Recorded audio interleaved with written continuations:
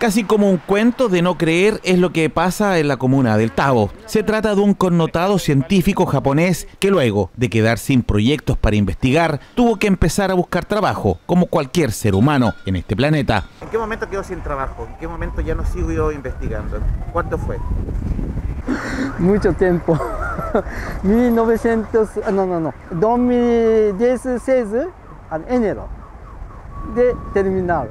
Muchos años. ¿Por qué? Porque esa original empresa, eh, económica problema. Entonces, mm, cono, conocerá.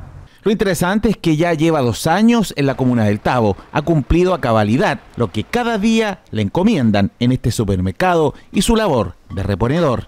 Tiene una amabilidad con la gente, ¿no? Es un excelente trabajador, no hay nada que decir.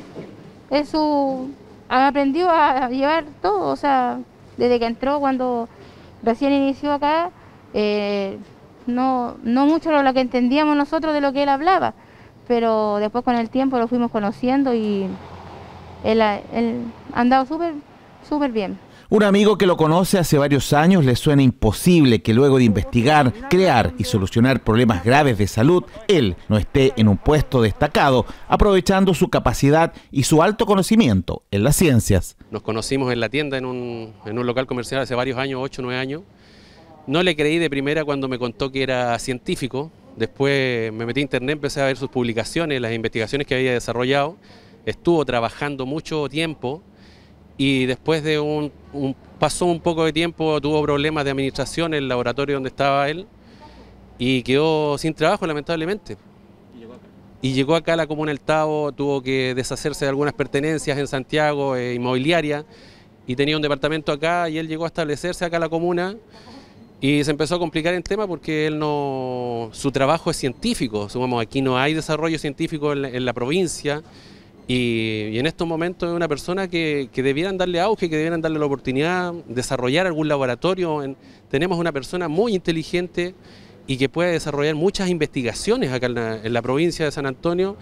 Y yo creo que hay gente que puede financiar un laboratorio y que, y que sepan bien y que conozcan bien el desarrollo que tiene tecnológico y científico que tiene Motodecato. Se destacó por inaugurar modernos centros de investigación en universidades, como lo vemos en esta fotografía. También fue parte de investigaciones a productos del mar desde Japón. Sorpresa encontrar, ¿no cierto?, a un científico de renombre mundial, cierto?, por, el trabajo, por la investigación que él ha desarrollado, ¿ya?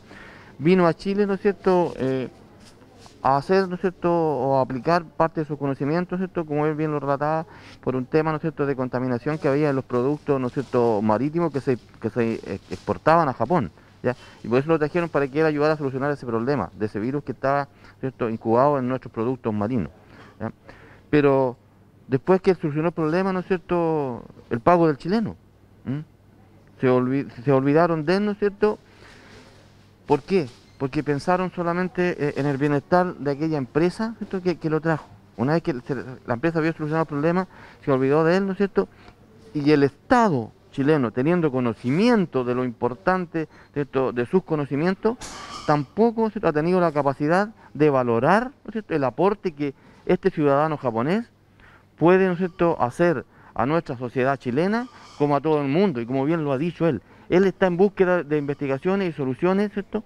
para todo el mundo, no solamente para los chilenos, ni para el Tao, ni para Japón, sino para todo el mundo. Muñoz insiste que este tipo de personas deben estar trabajando para la ciencia en Chile y adelantar quizás vacunas y remedios para todas las personas. Por supuesto que voy a hacer gestiones yo, ¿no es cierto? Hoy día lo que le estáis proponiendo, ¿no es cierto?, de, llevármelo al municipio para que él nos pueda hacer una propuesta desde de cómo desde, la, desde, el punto de vista local, desde, desde nuestra comuna, podamos, ¿no cierto?, ayudarlo y podamos ayudar a nuestra comunidad y por ende al mundo, ¿no es cierto?, con todos los alcances que, pueda tener, ¿no es cierto?, su investigación y, tratar de darle, ¿no es cierto?, la posibilidad de instaurar, ¿no es cierto?, algún laboratorio, como te decía, ¿por qué no puede ser de Chile, por qué no puede ser del Estado la búsqueda de soluciones a nivel mundial? Y, en esa, y, en, esa política y en esa visión, ¿no es cierto?, en la que yo hoy día estoy entrevistándome con él, porque quiero que sea parte, ¿no cierto?, del municipio, sea parte, ¿no es cierto?, o sea, un hito histórico, ¿no es cierto?, en esta comuna, que desde el Estado se den soluciones a nivel mundial, ¿no es cierto?, a todos los problemas de la salud que hoy día tenemos. Luego de conocer esta historia, el edil ha buscado un espacio para que este científico radicado en Chile pueda ayudar a la comuna en un principio en esta pandemia. ¿Qué le parece la propuesta del alcalde? Justamente? Ya, ah, no, muchas gracias, alcalde. ¿Va a ser una propuesta para a nivel local? ¿Se puede hacer eso? Sí, obvio. Una historia que lleva dos años en esta comuna y que pese a sus condiciones se ve feliz viviendo junto al mar en una comuna que lo alberga y que no deja de marcar un tiempo con su familia y sus amigos.